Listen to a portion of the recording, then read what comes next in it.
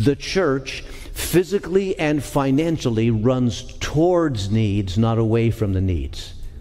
We run towards the needs, whether the need is those who are caught up in human trafficking, whether the need is poverty or the need is some sort of disaster or something else around us. We are supposed to run towards those needs, not away from them.